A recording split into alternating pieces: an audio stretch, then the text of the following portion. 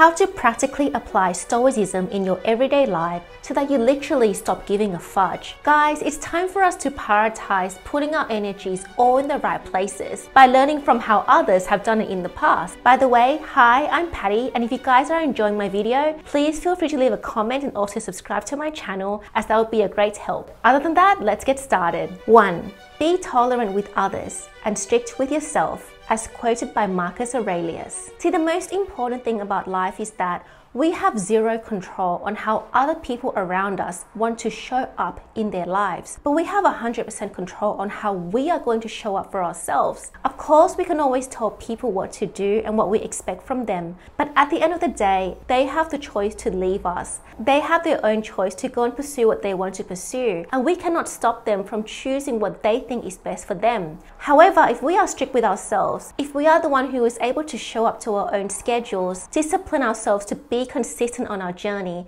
then the person who is benefiting the most from this journey is yourself. So, therefore, as much as it's tempting to put our expectation on somebody else and hope that if they do something well, it's going to make us feel good, it is so much more effective for us to set the high standards for ourselves and adapt to those standards so that we are the one who leads others by example. And as a result, we never get disappointed because we are focused on our own journey and we are allowing other people who want similar things to us to follow us along the process. Which leads to teaching two. The happiness of your life depends on the quality of your thoughts. How you interpret different situations will affect how you feel towards it. 99% of our situations are actually neutral, but how we assign our meanings to those things is what causes us to suffer. So in order for us to feel detached from every single circumstances that distresses us, it's important that we interpret those circumstances in a way that allows us to feel relieved. For example, if somebody has let you down at work, instead of thinking that this person has no respect for you,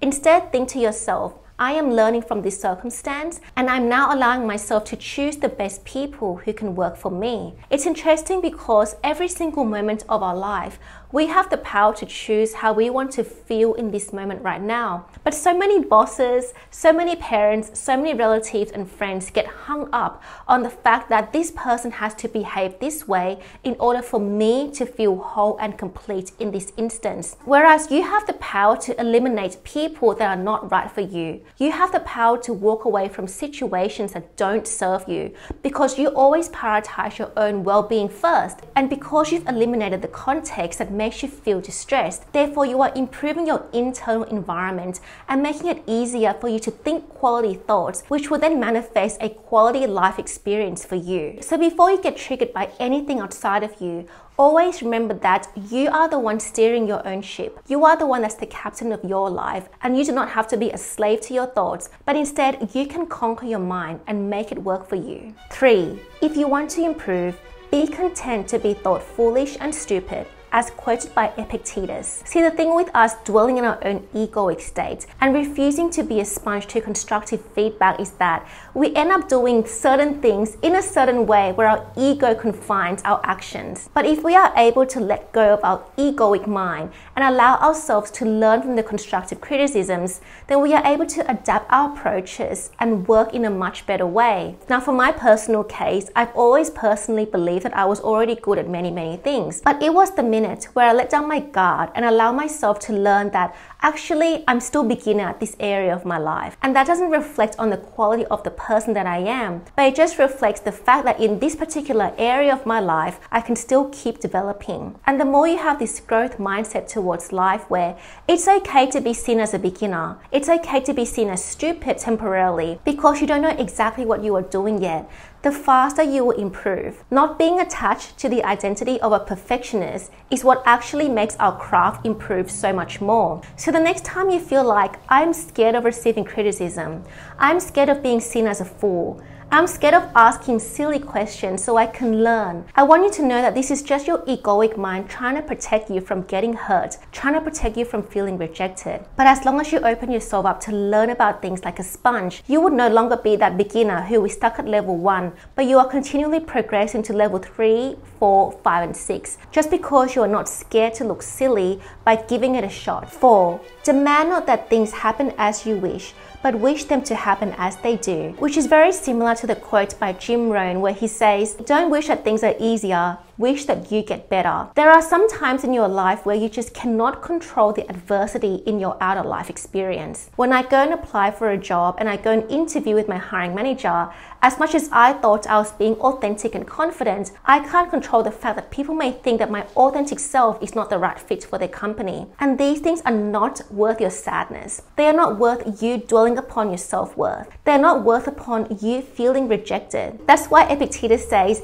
it's about changing how you interpret these adversities to make it work in your favor. So that the next time you've given your 1000% effort, but the results are still not reflecting what you deserve, you can actually feel content and whole within yourself that you've given it your best shot. And whatever happens in the outer reality is not relevant to your self worth. At the end of the day, you became a more confident person by putting yourself out there. So it's always going to be a win for you. No matter if you think this circumstance says no right now, it's actually not a no, but it's actually that you deserve better. You have better things aligned for you. And this particular moment is just a practice ground for you to keep evolving yourself, to become more confident and resilient so that you can handle the real thing that is on its way to you. 5. It is not because things are difficult that we do not dare.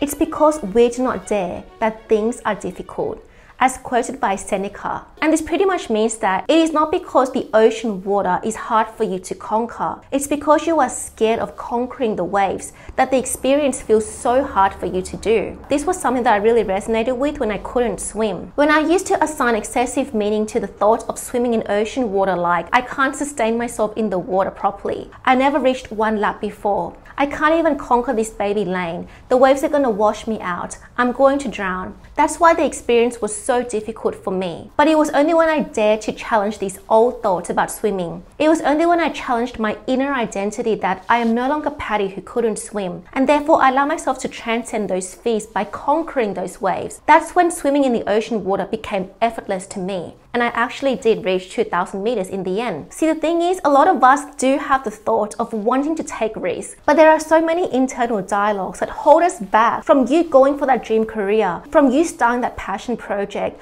because you are conditioned to believe that you don't deserve to succeed in it. See, social conditioning is such an interesting thing in that if people around us, let's just say the five closest people around us says that you can't start a YouTube channel. You can't earn six figures in a year without a nine to five job because nobody else in our social circle has done it. Then you are prone to believe that you can never earn six figures without a nine to five job simply because your inner identity is attached to the version of you who does not dare to overcome that fear. So, my question to you is Are you ready to let go of all the social conditioning that has trapped you in the subconscious belief that you don't deserve the best of the best in your life? The best of the best requires you to have courage. The best of the best requires you to overcome your fear. So, are you finally ready to let go and dare to do things that you once thought it was difficult for you? The more you can adapt yourself to do things that are difficult, the easier those experiences become, and therefore you will start conquering your reality and see everything as effortless because you are capable of overcoming your fear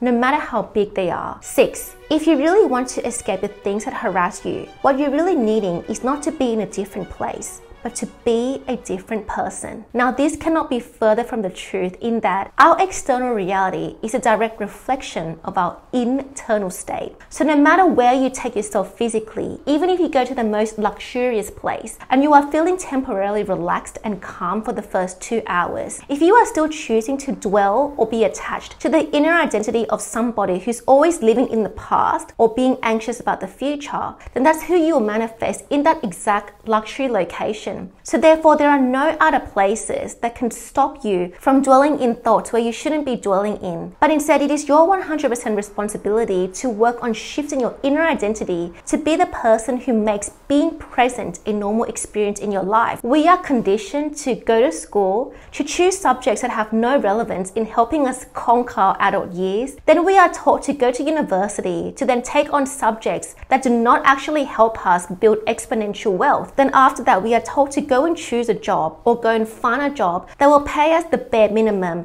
And even if you get paid six figures, but you may have to work more than eight hours for those six figures. And in order for you to feel relief of this life, you have to find some sort of escape to look forward to, whether it's that two weeks vacation or that one month vacation on your annual leave. And people are living like this year after year after year. So even if you get to use that annual leave to go to the vacation, but if your inner identity is still anchored in the version of you where you feel like life cannot be perfect, life cannot go my way, I don't deserve to have lucky girl syndrome, I don't deserve to create the exact experiences I want because this is how things have always been. And therefore, no matter where you physically take yourself to, whether it's the club, the parties, the beach, the vacation. You cannot stop yourself feeling like this is not enough. It all starts with your internal self that the minute you become somebody different, even in the most mundane and boring setting, your experience towards it will change. And you'll find yourself being more present and less analytical of how things should unfold for your life in order for you to experience true happiness. 7. Man conquers the world by conquering himself as quoted by Zeno. Think about the time where you really want to achieve that A grade or you really want to secure that dream job, I can guarantee that if you were able to achieve that goal, it wasn't exactly that you worked a lot, lot harder, but it was because you shift your inner identity. You became the version of you who could effortlessly have the thing. If you can master your mind, then the whole world can belong to you. We are so focused on spending more hours crafting our skill set, hustling and striving, when actually we could use the Wu Wei approach to enter the flow state and effortlessly create the results that we want. The thing about conquering yourself is actually about finding inner stillness. It's being in a place where you are present and in harmony with the current moment to the point where that flow state allows you to take inspired action. And through that inspired action, you are constantly winning every single milestone in order for you to reach your one big goal. So the next time you're feeling like something outside of you is so difficult for you to accomplish, give yourself permission to accept that you can conquer yourself by doing less. Conquer yourself by finding inner stillness first, being completely present in what you're doing right now. So, therefore, every single physical action that you take is aligned to the end state. It is no use for us to execute all of our action from our old self, where we are using so much force and so much resistance to achieve a certain goal. But if you work on leveling up yourself, conquering your inner identity so that as the person who already lives in the end state, no matter which action you take, no matter which strokes you take while you swim, no matter which steps you take as you run, you are living in the end state and you are effortlessly creating this through the flow state. So again, guys, before you conquer that goal, you actually want to come back and conquer your mind. Allow your focus to be planted in one space and allow yourself to quantum jump into that reality where it is normal for you to achieve this goal and you will see everything harmoniously unfold itself for you. 8. Well being is realized in small steps but it is no small thing. Now, this truly resonated with me when I stopped trying to strive for an outer result and really prioritize my inner self care. See, when we are so immersed in the social conditioning where we have to work really, really hard and neglect our inner well being to achieve a certain result in order to be worthy, that we don't realize that those small micro actions that we take to better our health go such a long way. So let's just look at this in terms of rewiring your subconscious programming. Let's just say every single night before you sleep, you start turning on the affirmation tracks that reinforces the new beliefs you wish to have by yourself. Every single night for at least 10 minutes, you are repeating to yourself, I deserve to be loved. I deserve to be accepted exactly for how I am. I'm always conquering my day. I can overcome any challenges that comes my way. I am the best. I deserve to feel relaxed. I am beautiful inside out. I am radiant. Imagine you compounding this practice every single night for 10 minutes a night. How much will your life change by the end of 365 days of you doing this? And I guess this is what Zeno means, where self care is an incremental step. A little bit of love poured into your cup goes such a long way. In the first one to two days, you may not see the difference in affirming positive thoughts into your mind, but as you compound these small wins on a day to day basis, as you keep repeating to yourself how worthy you are just through your internal dialogue alone, how much would your life change even by the end of 90 days? How would you be inspired to do everything differently by the end of 90 days when your predominant thoughts are, I am worthy of love. I deserve to rest in my feminine energy. I don't have to work hard because I am whole within myself. Therefore, your interaction with other people will change. How you set your boundaries will change. Who you allow into your life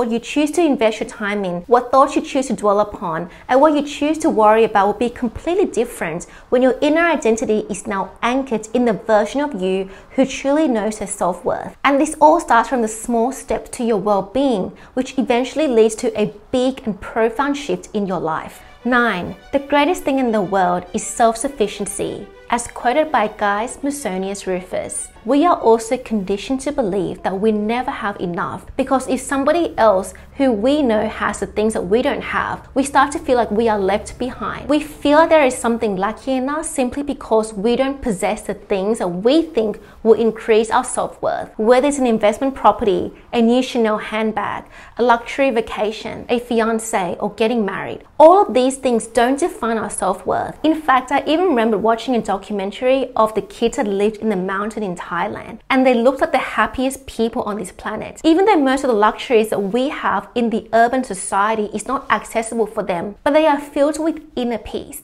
They have food to eat, warm clothes to wear, a home to live in, and all the plants and crops and nature all around them. It is enough for them to live a content and rich life. Yet the more you are consumed in the world where people are advertising the importance of having technology in your life, people are advertising the importance of having certain cosmetic brands, certain handbags, certain designer clothes, and it never feels enough because we are constantly advertised things that reinforces our sense of lack. I want you to really take a step back and realize that if tomorrow you are cut off from all these social media connections. If tomorrow you are just by yourself and you already have food to eat, you already have access to clean water, you have a place to sleep in, you have the space to walk and access to nature, gosh, that is more than enough for you to live a content and happy life. And the more you can actually realize that without being like, I'm settling for less, but more like, I feel whole in this present moment because I'm not snooping through what other people has, then that's when you have access to creative flow,